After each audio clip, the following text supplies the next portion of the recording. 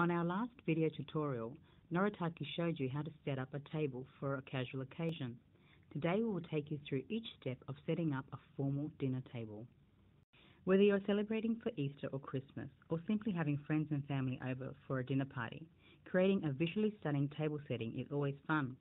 However, with up to 20 pieces of crockery, glassware and silverware, it can all be a little confusing. Setting a formal table is more complicated than setting the table for a casual occasion but the attention to detail needed adds a special touch and shows your guests how much effort you have gone through. First, let's go through everything we will be using today. Hampshire Platinum is a bestseller in our formal collections. All items are chip resistant and dishwasher safe. The Chamonix cutlery is manufactured from the highest quality 1810 stainless steel and is dishwasher safe and gift boxed as a set. We'll be using these beautiful handmade in Italy IVV Vizio glasses which are all dishwasher safe and gift box. We need the long tumbler, red wine, white wine and champagne glasses.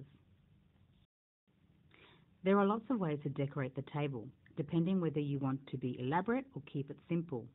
To set the scene, we have used a tablecloth with table runner and flowers as a centerpiece.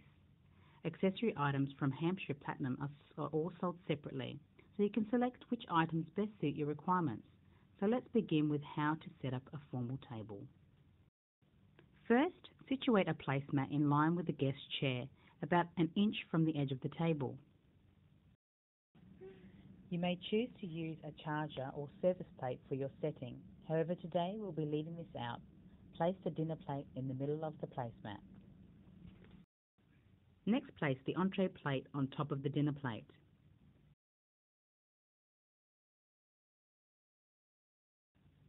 Soup is usually served as the first course, so when you serve the soup, remove the entree plate and replace it with the soup plate.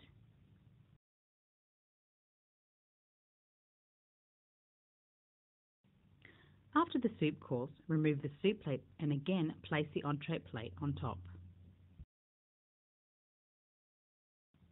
Place a folded napkin to the left of the plates. Placing the cutlery in the correct positions is essential. This means we should place the dinner fork and knife on the inside. The dinner fork should be placed on the left of the plates. The dinner knife goes to the right of the plates.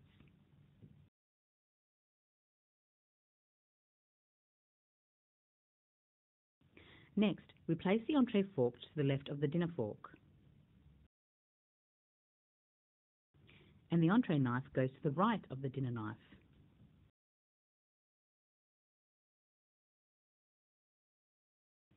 The soup spoon should be placed to the right of the knives. Lastly, place the dessert spoon horizontally on top of the plates. The spoon should be pointing to the left.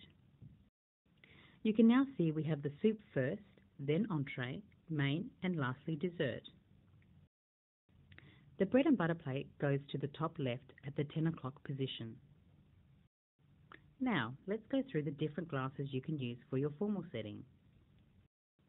The water tumbler should be placed directly above the dinner knife, aligned with the bread and butter plate.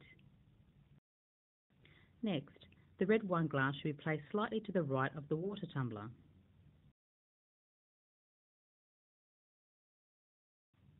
The white wine glass goes to the right of the red wine glass.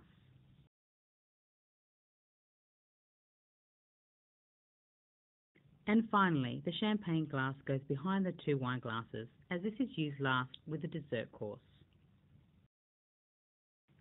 You now have a beautiful formal setting ready for guests. Alternatively, you may like to use an accent plate instead of the entree plate. In this case, replace the entree plate with the accent plate. Accent plates are often used as a decorative contrast, adding intricate detail to your formal setting.